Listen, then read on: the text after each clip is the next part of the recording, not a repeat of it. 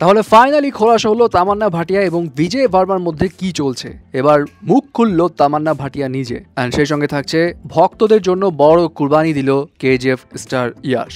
And আরও রয়েছে। বাপরে, প্রিয়াঙ্কা পুরো ফাটিয়ে দিয়েছে এই সাদা ড্রেসে বাট তার থেকে বড় কথা হচ্ছে, এমন গেট আপে প্রিয়াঙ্কা কোথায় গিয়েছিল আর তার এই সাদা পোশাকের দামটা কত? প্রথমে আসি তামান্না, ভাটিয়া এবং বিজয় ভার্মার কাছে। তামান্না, ভাটিয়া এবং বিজয় ভার্মা প্রেম করছে এমন গুঞ্জন তো বেশ লম্বা সময় ধরে উঠে আসছে, যদিও দুজনের কেউই মুখ খুলেনি। তারপর সামনে যেটা আসছিল যে আচ্ছা লাস্ট স্টোরি টু আসতেছে তো এটার জন্য এরা নাটক করছে, এটা প্রমোশনাল স্ট্র্যাটেজি বাস, কাহিনী এখানেই ধামাচাপা। কিন্তু তামান্না ভাটিয়া এখন কনফার্ম করে দিল তাদের মধ্যে প্রেমের বিষয়টা। জি, আপনি ঠিকই শুনেছেন। রিসেন্টলি একটা ইন্টারভিউতে তামান্না ভাটিয়া জানায়, সে অনেক কোয়েস্টারের সঙ্গে কাজ করেছে। কাজ করতে গেলেই যে কারোর সঙ্গে প্রেমে পড়তে হবে এমনটা কখনো তার ক্ষেত্রে হয়নি। সো সব কোয়েস্টারের ক্ষেত্রে সে কখনো ওভাবে ফলো করেনি। বাট বিজয় ভার্মা বিষয়টা স্পেশাল সে ইন্টারভিউতে জানায় বিজয় ভার্মা এমন একটা মানুষ, যেরকম মানুষ সে সারা জীবন খুঁজে এসছে। এবং এই মানুষটার সঙ্গ পেলে সে অনেক খুশি হয় এবং বিজয় ভার্মার প্রতি সে অনেক ডিপলি কেয়ার করে এবং তার সঙ্গে বিজয় ভার্মার যে বন্ডিংটা সেটা খুব অর্গানিকলি হয়েছে। সেই সঙ্গে তামান্না ভাটিয়া এটাও বলে, তামান্না নিজের একটা আলাদা ওয়ার্ল্ড ক্রিয়েট করেছে,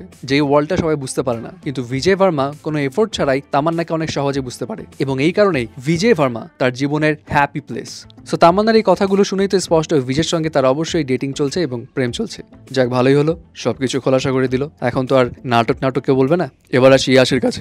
ইয়াস দিল ভক্তদের জন্য একটা বড় কুরবানি। অ্যাকচুয়ালি কাহিনী যেটা হয়েছে সেটা হলো, ওই যে গুঞ্জন ছিল না, যে রণবীর কাপুর, আলিয়া ভাটকে নিয়ে রামায়ণা করবে, যেখানে রণবীর কাপুর, রাম, আলিয়া ভাট, সীতা এবং ইয়াসকে না হবে রাভান চরিত্রে। এখন জানা গিয়েছে, নিতেশ তিওয়ারির এই মেগা প্রজেক্ট থেকে ইয়াস সরে দাঁড়িয়েছে, সে এই কাজ করবে না। রিপোর্টস মোতাবেক, ইয়াস এই রাভান চরিত্র করতে সুপার এক্সাইটেড ছিল এবং তার কাছে এটা অনেক কনভিন্সিং লেগেছিল রাম ক্যারেক্টারের থেকেও। কিন্তু যখন সে এটা করতে অনেক এক্সাইটেড ছিল, তখন ইয়াসের ম্যানেজমেন্টের টিমরা তাকে সাবধান করেছিল এই প্রজেক্টটা না নিতে। তারা তাকে বলেছিল ফ্যান্সরা কিন্তু হ্যাপি না তোমার এই রাভান ক্যারেক্টারের কথা শুনে এবং তোমাকে নেগেটিভ ক্যারেক্টার রোলে ফ্যান্সরা দেখতে প্রস্তুত নয়। এই কারণে তোমার এই প্রজেক্টটা নেওয়া উচিত নয়। এবং ভক্তদের কথা চিন্তা করেই ইয়াস ফাইনালি এই প্রজেক্টটা ফিরিয়ে দিচ্ছে, এখানে আর কাজ করছে না।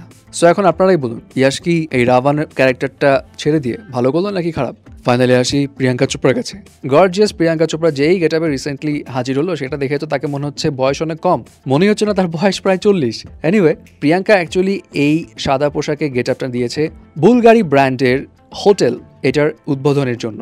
যে হোটেলটা ইটালির রোমে উদ্বোধন করা হয়েছে এবং সেই যে ড্রেসটা পরেছে সেই ড্রেসটা কিন্তু প্রচণ্ড এক্সপেন্সিভ সাদা এই ড্রেসটা অ্যাকচুয়ালি গিম্বাতিস্তা এই ডিজাইনারের তৈরি এবং দাম নয় হাজার দুইশো ডলার মানে প্রায় সাড়ে নয় লাখ টাকার উপরে। বুলগারির যে হোটেল সেই হোটেলটাও কিন্তু কম এক্সপেন্সিভ না। এই হোটেলে রয়েছে একশো চোদ্দটা রুম, যার মধ্যে রয়েছে আটচল্লিশটা স্যুটস এবং এই হোটেলের সস্তা প্রাইস হচ্ছে পনেরোশো ডলার পার নাইট এবং সবচেয়ে এক্সপেন্সিভ দাম হতে পারে আটত্রিশ হাজার ডলার পার নাইট